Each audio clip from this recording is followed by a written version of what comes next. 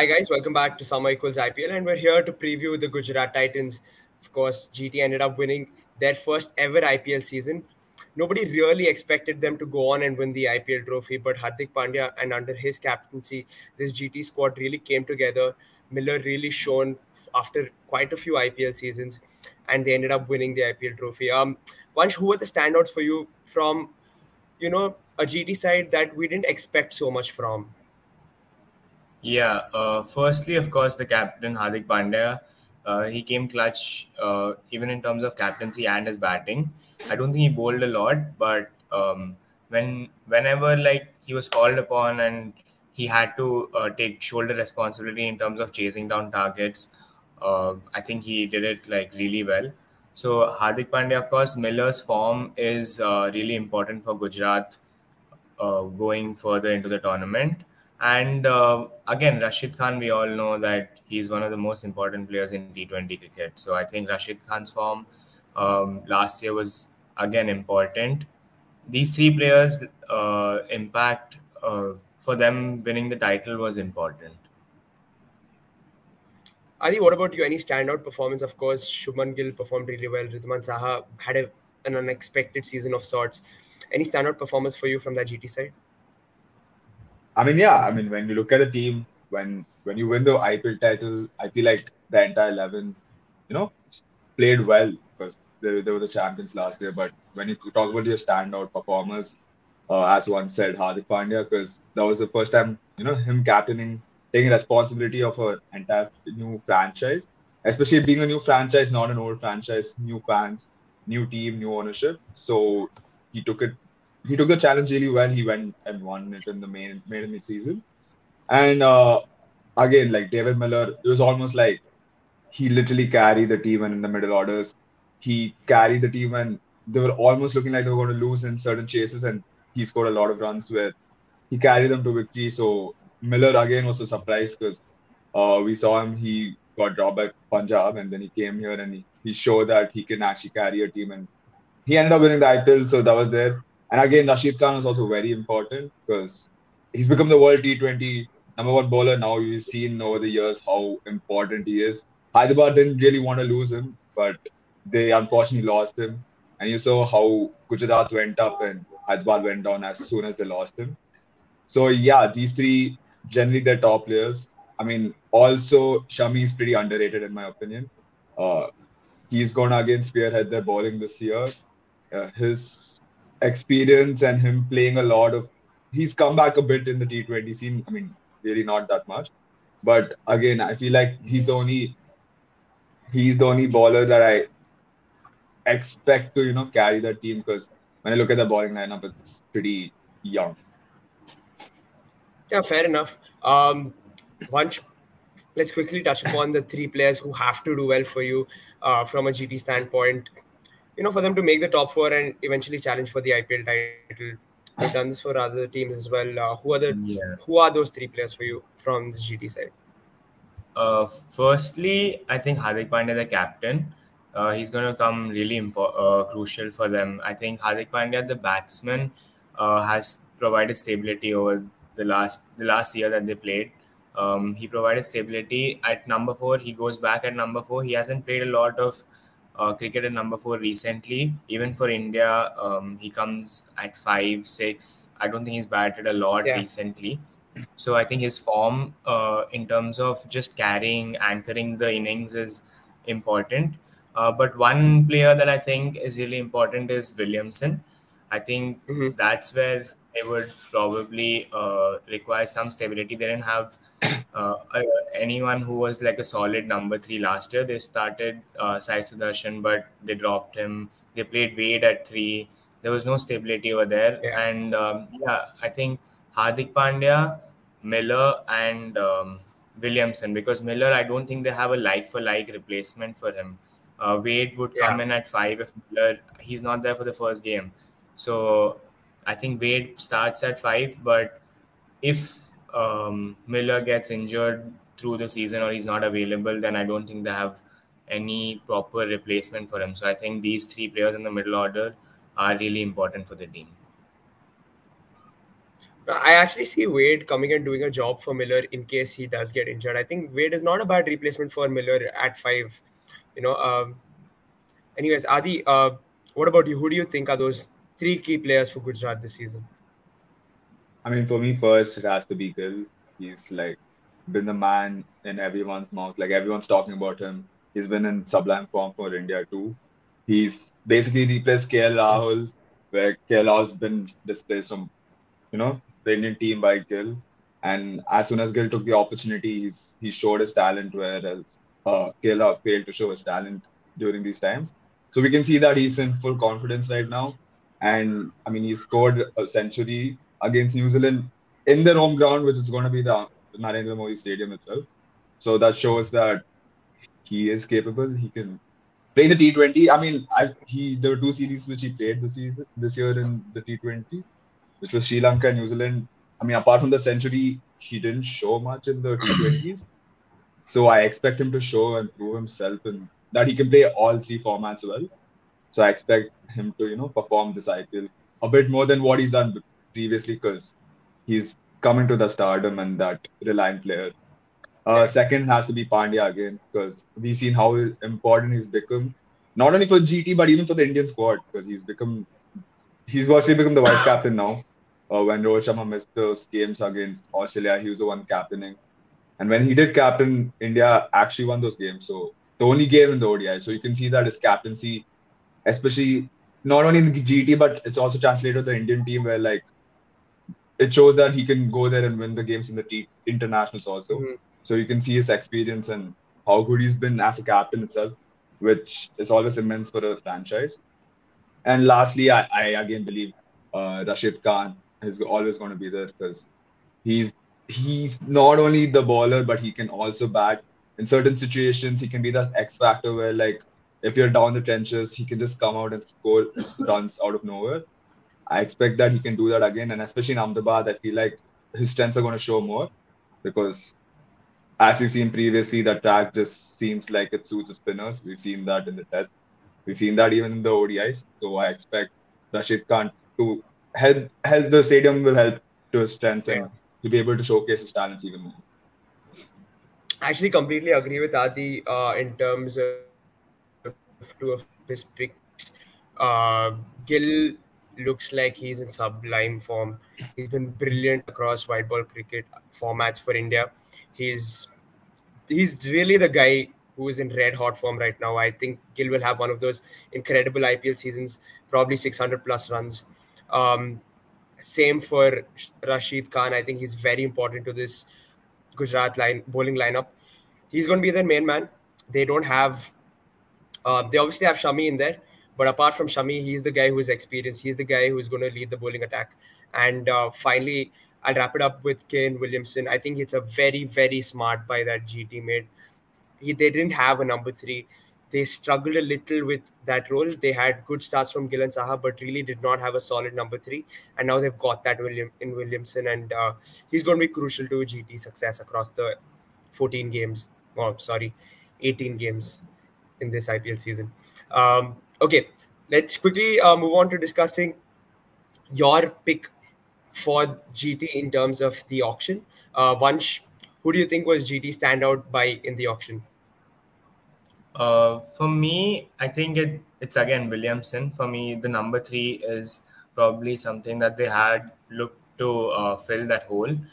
Gill plays a very different role. I feel this year he plays a really different role than what he played last year he was anchoring the innings last year. He had to, uh, you know, carry his. He had to carry on and um, make sure that he doesn't lose his wicket because you had uh, the explosive batsmen of Pandya, Miller, Tewatia, but to provide stability, you needed Gill.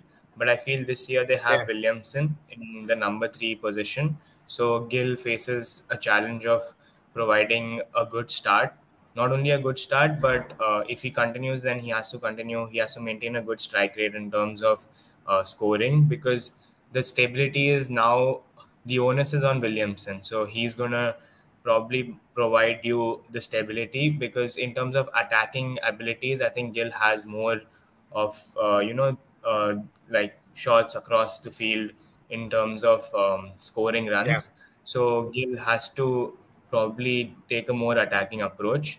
And for that reason, I feel Williamson's role is more important and probably one of the best buys this IPL in terms of uh, strategic hole, f- filling the holes in the teams.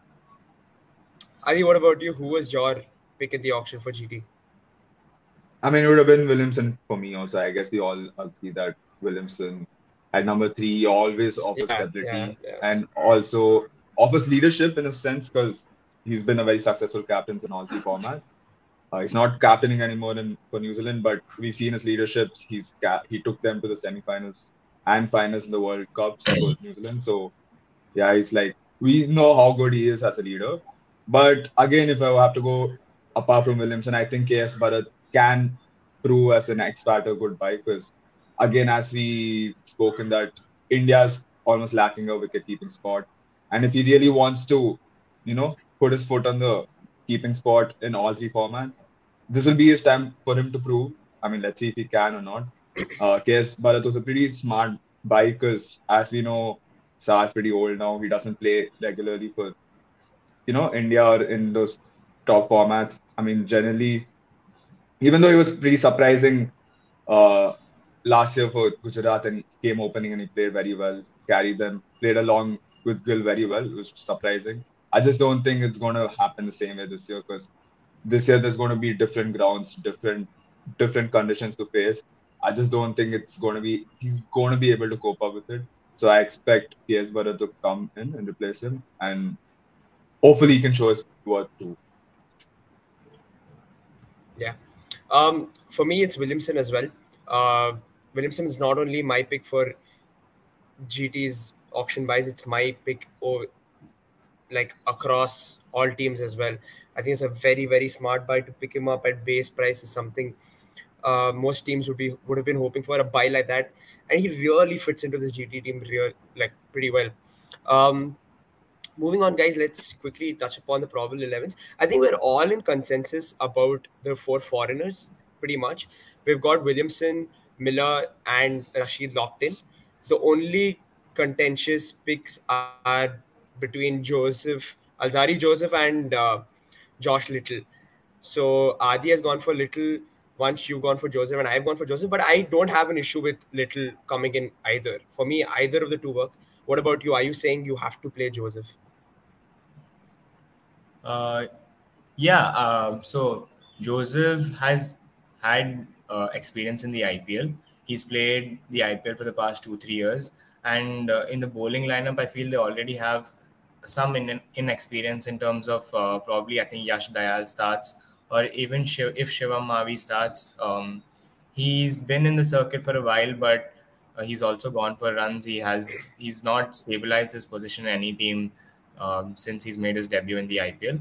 So I think um, to provide just the experience is really important. There has to be some uh, lead leadership in that bowling group. Rashid Khan provides it in the spin department. In the pace department, I think Al- Alzarri Joseph and Shami have a role to play. Um, Josh Little, um, of course, we all want to see uh, him play. I don't think he would start, but based on Alzarri Joseph's performance, uh, I think Josh uh, Josh Little might get an oppor- opportunity in the probably the later half of the tournament.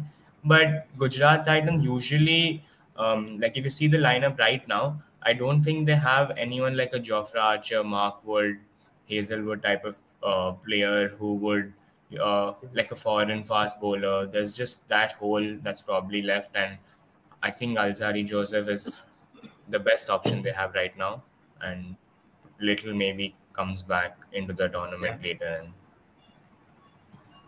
I think uh, the picks in terms of our middle order is pretty much the same. We've all gone for Williamson, Pandya, Miller, Tewatia.